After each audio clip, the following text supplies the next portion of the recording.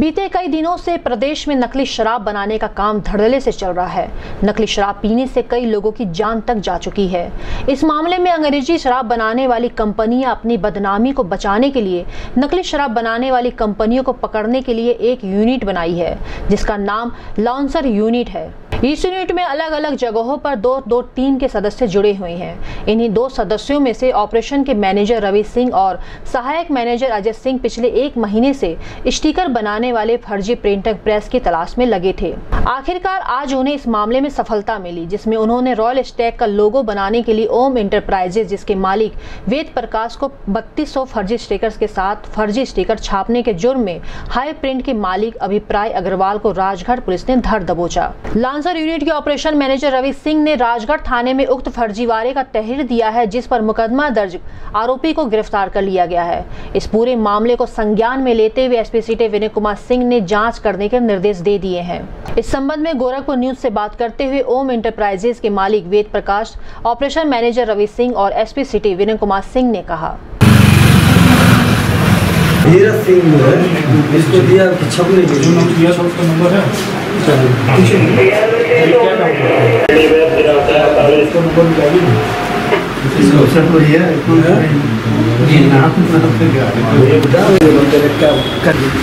बार बार वो करने से बढ़िया है कि एक ही बार में हो जा सकता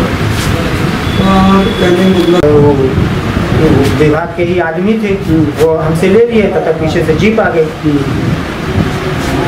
और सबसे बड़ी बात ये बार कोड है ना वो नहीं। बार कोड जो आगे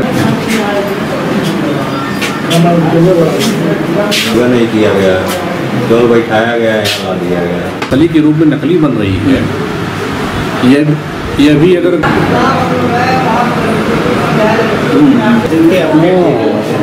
जी भाई साहब नमस्कार।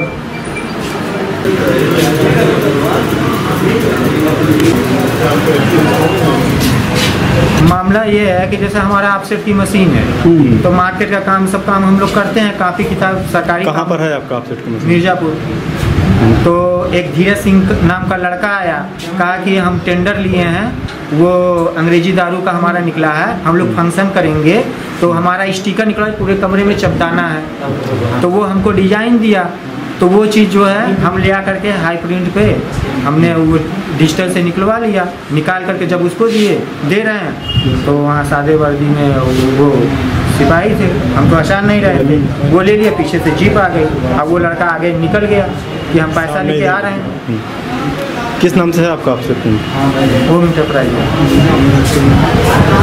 सर क्या मामला है सर पूरा ये नकली शराब का मामला है। पिछले सात आठ महीने से शिकायतें जा रही थी। सेल्स वाले भी शिकायत कर रहे थे ग्राहक भी शिकायत कर रहे थे कि गोरखपुर क्षेत्र में नकली शराब का धंधा जो है वो दूर खोलते हैं। हम लोगों ने धीरे धीरे जाँच करके पिछले एक महीने से जाँच तेज की जब से कानपुर शराब कांड हुआ है। और परसों हम लोग कन्फर्म हो गए। कल योगी जी का कार्यक्रम होने की वजह से कोई भी अधिकारिक आदमी नहीं मिल पाया। तो आज सुबह हम एस पी आर साहब से मिले। उन्होंने सी ओ कोतवाली को बाई हैंड लिख के दिया और वो लेटर मुझे दिया गया। सी साहब से फ़ोन पे वार्ता होने पे इन्होंने इस थाने के लिए भेजा। राजगढ़ थाना रा- थाना राजगढ़ के लिए भेजा।